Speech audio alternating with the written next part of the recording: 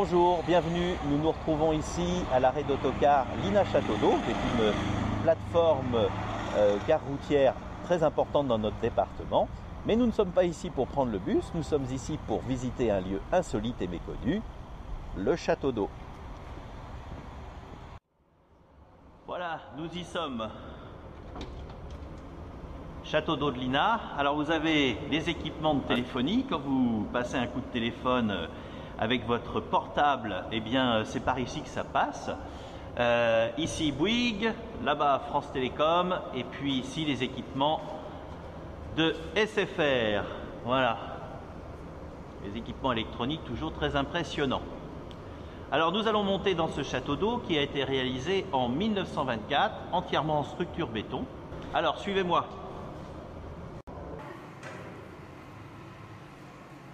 Et voilà, on continue le parcours. Alors, vous constatez comme moi que je n'ai pas de harnais. On peut encore se permettre de le faire parce qu'on est dans des échelles qu'on appelle à crinoline.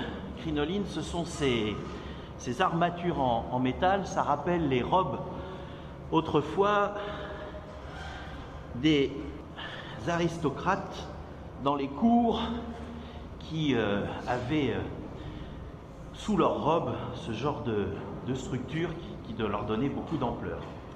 Voilà, alors là nous sommes sur euh, un des paliers intermédiaires, il y en a cinq comme ça pour arriver en haut du château d'eau. On va continuer la visite. Et voilà, alors on arrive sur un des paliers intermédiaires. Vous voyez qu'on a sécurisé l'ensemble de la structure Auparavant, il n'y avait pas ces garde-corps. Tout ça, ça a été sécurisé il y a à peu près une dizaine d'années lorsqu'on a commencé à installer des antennes ici sur le château d'eau.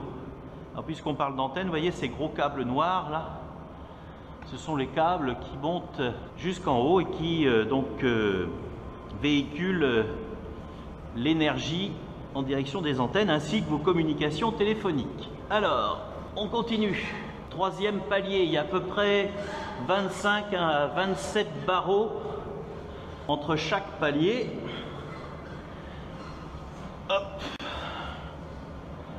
Alors, donc un château d'eau, à quoi ça sert? Première chose à savoir, un château d'eau n'est pas forcément une réserve d'eau pour vous alimenter. Un château d'eau, ça sert uniquement à faire monter la pression dans les tuyaux, de façon à ce que vous puissiez ouvrir votre robinet et que l'eau coule. Et la pression générale, c'est à peu près un bar de pression tous les 10 mètres. Plus on monte la réserve d'eau et plus la pression dans les tuyaux est importante. Donc là, château d'eau de Lina, 30 mètres à peu près, faites le calcul, cela donnait à peu près 3 bars euh, de pression d'eau dans les tuyaux à l'époque où, le, château d'eau fonctionnait. Dans les années 70, il a été désaffecté. Donc aujourd'hui, vous verrez, il n'y a plus euh, d'eau du tout dans, le réservoir. Ce qu'on appelle le réservoir, c'est la partie où nous allons monter maintenant, qui est en fait la partie sommitale du château d'eau, euh, en fait la, la, partie haute du, du, champignon que représente le château d'eau. Et c'est à l'intérieur de ce réservoir que l'eau était stockée. On continue. Alors là, on arrive à un endroit qui est un peu la clé de beaucoup de choses. Je pense que vous le voyez là avec la caméra. Et on va continuer ainsi avec la dernière échelle qui elle fait à peu près une dizaine de mètres. Donc là, vous voyez, ce sont les équipements de téléphonie que l'on voit sur, euh, sur cette passerelle. Et ici, là, ce sont les câbles du téléphone qui montent au château d'eau. Vous avez ici les anciennes tuyauteries d'eau la montante et la descendante, elles ont été euh, tronçonnées puisque, euh, comme je vous le disais, ce château d'eau n'est plus utilisé. Alors, quelques explications sur la construction du, château d'eau. Euh, cette construction en structure béton a été faite en 1924, date à se rappeler puisque c'est la même année que la construction du circuit automobile avec les mêmes bétons. On peut même dire que le béton utilisé ici au château d'eau est le même que celui qui a été utilisé à l'autodrome. Alors le principe de construction, hein, on le voit en fait par différentes euh, strates, c'est-à-dire qu'on crée des couronnes avec des planches de bois qui étaient euh, mises euh, les unes au fur et à mesure que le, béton sécher et on appelle d'ailleurs ces planches des banches. Et, donc ça permettait donc de réaliser le château d'eau étape par étape. Et comme ça en arrivant à monter l'ensemble du cône jusqu'à la partie sommitale. Et puis après, pour terminer, bien évidemment, on réalise le, réservoir qui se veut être une couronne.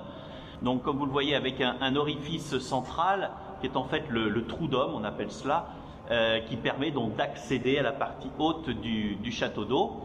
Et l'eau en elle-même était stockée donc dans toute la partie de la couronne euh, qui est ici et euh, qu'on va pouvoir voir au fur et à mesure que, que l'on monte. Voilà, mais avant la dernière étape, petite précaution de sécurité à ne jamais oublier, quand on est en grande hauteur, l'outil principal c'est le harnais. Voilà. Allez, c'est parti.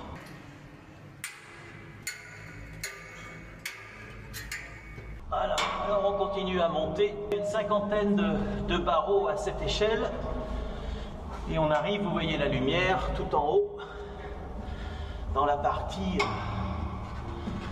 définitive. Alors là, on a une étape intermédiaire sur le réservoir en lui-même et ça résonne parce que là, on est au-dessus du réservoir d'eau, mais qui est vide. Je vais essayer avec la caméra de vous montrer l'intérieur. Voilà.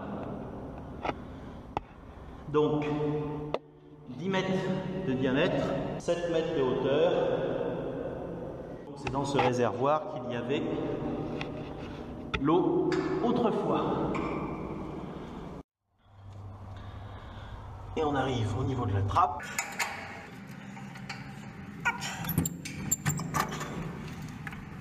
Et voilà, nous y sommes. Ah, magnifique.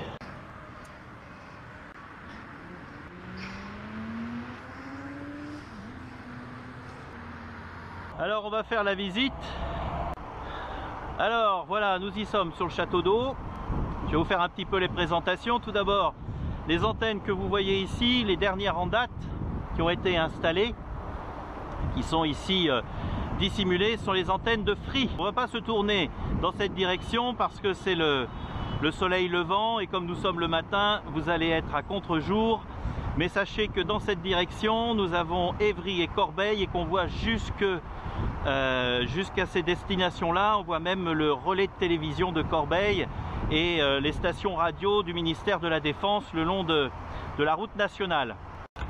Vous avez dans cette direction Sainte-Geneviève-des-Bois, on peut voir même d'ailleurs le château d'eau de Saint-Michel, là-bas.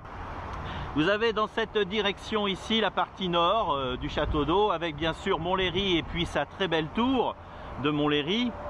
Et puis on peut voir bien sûr une partie de, l'INA, dont euh, l'église, en continuant euh, dans cette direction, on arrive dans l'axe de la Nationale 20. Donc on voit assez loin euh, jusqu'à euh, Longjumeau. ça permet d'ailleurs, en utilisant les, caméras, de pouvoir voir l'état de la circulation sur, sur la Nationale 20. Et donc dans cette direction là-bas, bah, vous avez également la direction de Paris. On ne voit pas la tour Eiffel parce que nous sommes cachés par le rocher de Sceaux qui est, euh, vous le voyez, euh, juste à côté de la Nationale 20. Mais le soir, d'ici, on peut voir très facilement le faisceau lumineux de, la tour Eiffel, hein, sans problème. Alors, on continue. On se tourne dans cette direction. Là-bas, vous avez Marcoussis. Vous avez le centre de rugby de l'INA Marcoussis avec le massif boisé de Belgium, juste, derrière moi. Voilà, je passe de l'autre côté avec le château d'eau d'Alcatel là-bas sur le plateau. Et alors si on continue tout doucement, on voit au milieu de, la cuvette, donc au milieu de la vallée de, de la Salmouille, eh bien le château de Saint-Jean-de-Bourgard, c'est le petit point blanc que vous avez euh, tout là-bas. Au pied du château d'eau la zone d'activité de l'INA avec le rond-point euh, de la tolérance. Et puis là on arrive sur le massif euh, boisé du circuit automobile circuit est derrière ce massif. Et puis, euh, si je continue la visite, eh bien, vous avez une autre partie de, l'INA avec le, le quartier de la Gouttière, du chemin de Tabord. Et puis au fur et à mesure que l'on monte par ici, la Nationale 20 en direction d'Étampes. Ah, je mettais ma main ici pour voir si ça chauffait, mais non. Ce sont ça les, gaines qui euh, emmènent les ondes jusqu'aux antennes de communication téléphonique. Voilà, ben, j'étais heureux de vous faire euh, visiter ce, monument euh, dans lequel bien évidemment personne ne peut rentrer facilement puisqu'il est interdit au public, mais qui reste quand même un élément visuel très important dans notre secteur puisque le château d'eau de Lina qui est euh, à l'intersection de la Nationale 20 et de la Francilienne, est euh, un des symboles euh, visuels les, plus importants de, cette région sud de, l'île de France. Je vous souhaite une bonne descente. Nous, on va reprendre le chemin du sol. Et puis à très bientôt pour une nouvelle chronique, une visite encore de lieux insolites, méconnus et inaccessibles.